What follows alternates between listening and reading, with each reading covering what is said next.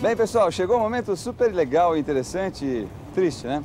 São as denúncias que o ShopTour se obriga a fazer perante coisas como essa aqui, por exemplo. Tem uma loja de móveis que inclusive já anunciou com a gente ano passado, chama-se Formato Móveis e Decorações, cujo proprietário, o seu Manuel, tem um irmão chamado Zé Carlos, que é o gerente. O, endereço da Formato é na Teodoro Sampaio, é, número 1478.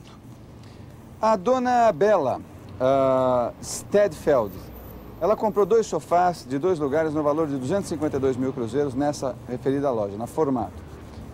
Os, ela pagou com cheque predatado, os cheques não foram depositados até o momento e ela não recebeu ainda a mercadoria, o que não implica em nada grave até o momento, porque eles estão dentro do prazo de entrega. Mas ela pediu, por favor, se pudesse cancelar a compra, porque ela teve um problema de doença na família. Uma coisa que todos nós estamos passíveis de acontecer. Ela ligou na loja e eles disseram que não podia devolver. Ela foi lá pessoalmente, eles falaram que tinha que pagar a comissão do vendedor, que é um absurdo, que é 4,5% do valor total da venda. Ela foi lá para devolver os 4,5%, para falar para eles, tá bom, então fica com vocês, falar, ah, agora a gente não quer, você vai perder a primeira parcela. Gente, foi uma enrolação que vocês não acreditam.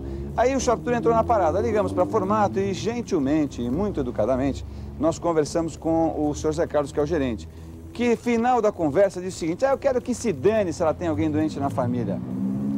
Ela que vai falar com o nosso advogado. Então, senhor Zé Carlos, a gente quer que o senhor se dane também, porque o senhor não tem um pingo de consideração com as outras pessoas. E isso, além de, não, de ser injusto, é contra a lei. Eu vou dizer uma coisa para o senhor. No Código de Defesa do Consumidor, que está valendo, na seção 4, no artigo 26, no parágrafo 2 no inciso 1 da Lei número 8.078, de 11 de setembro de 1990, diz que ela tem razão e o senhor está sem razão. E ainda por cima, o senhor mete advogado no meio, só, só para o senhor saber, assim, se for o caso, o Shoptour paga para a dona Bela o advogado para ela conseguir o que ela quer junto com o senhor. Obrigado.